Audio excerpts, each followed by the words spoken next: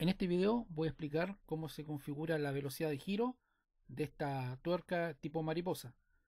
Eh, lo primero vamos a dejar unos 3 segundos iniciales. Voy a hacer un pequeño movimiento para que se grabe esa instancia.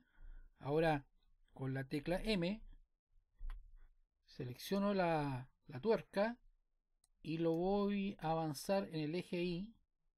Ahí se puede ver unos 50 milímetros. Ahí se puede ver que es muy poco, entonces uno podría eh, obviamente cambiar. Y ahí es la distancia que yo quiero. Marcamos la línea guía. Ok. Ahora, claramente, si yo voy al inicio, hago un play.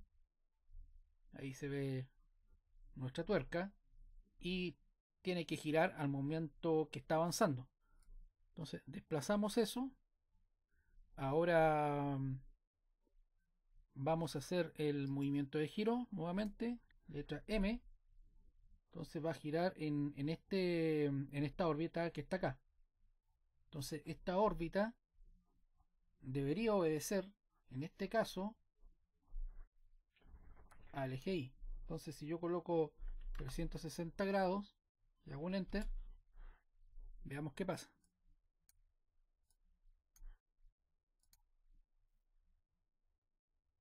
Entonces ahí está avanzando 360 grados. Eh, ahora, si yo quiero cambiar esa velocidad, marco el icono rotación, botón derecho, edito la acción y acá en vez de 360 yo podría colocar 360 por 3. Entonces va a multiplicarlo 360 por 3 y un enter.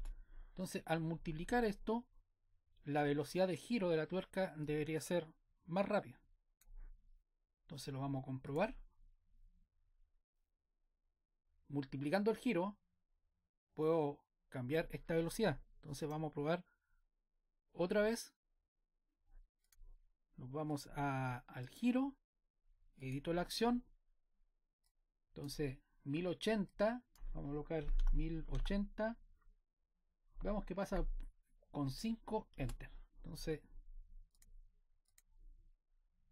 es demasiado rápida, apenas se puede apreciar el, lo que es el efecto. Entonces, ahí uno vuelve a, a cambiar la acción y tal vez podría ser 360 por 5.